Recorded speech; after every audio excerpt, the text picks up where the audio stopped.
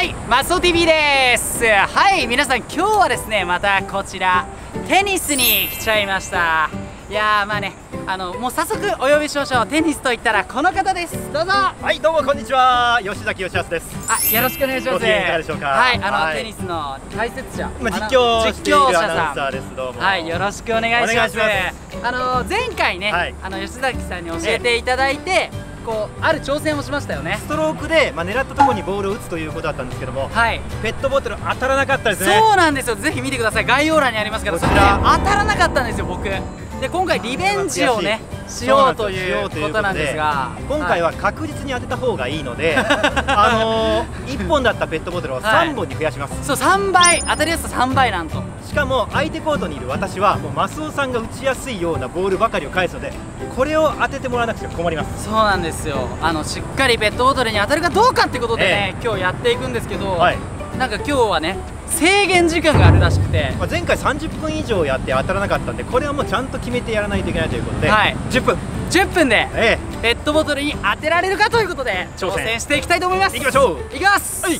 はいということでねこれから挑戦していくんですが。はい。向こうにねそう。3本ペットボトル置きましたよ。3本あったらいけるんじゃないかと、ねえ、うん。思うんですが、はい。あの狙ったところにボールを打つ一つポイントをおポイントよろしくお願いします、ストロークで打つときに、はい。まあ、あそこの狙ったものを直接方向に向かって打つのもいいんですけど、はいネットの少し上のところどのあ部分を狙うかというところを定めてその延長線上に狙ったペットボトルが来るようにする。ー確かにそれマリオテニスでやりましたね。マリオテニスあった。マリオテニスでこう輪っかあってそこを通すと点数っていうのがあって。そう。ですそうその辺に狙って打てば。今絶対狙いましたよねではこれから10分で当てていきたいと思います。よーいスタート！お願いしますはいこれで当てちゃったりして。おお輪っか輪っか。あちょっと飛びすぎか。輪っかが増えすぎるな。なんか当たんないな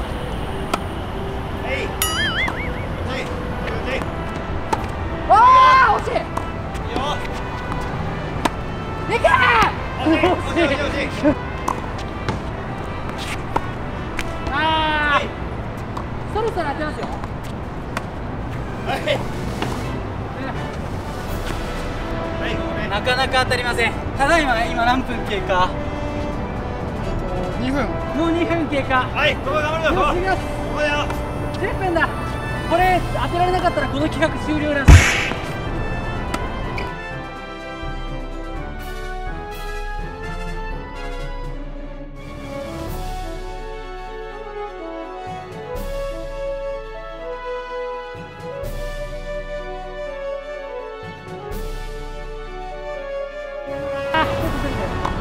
もうだんだんは